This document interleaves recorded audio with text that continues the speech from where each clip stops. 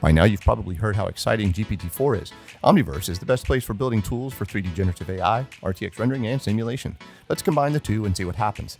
We already have partners building amazing extensions, so let's start off by using one from SyncTwin that makes floor plans. We can just draw out the area we like, maybe based on a blueprint, and it builds the floor. We built our own extension that lets us tell ChatGPT the type area we want this to be, and it uses not only that description, but also uses DeepSearch to pull in the perfect assets from our SimReady library.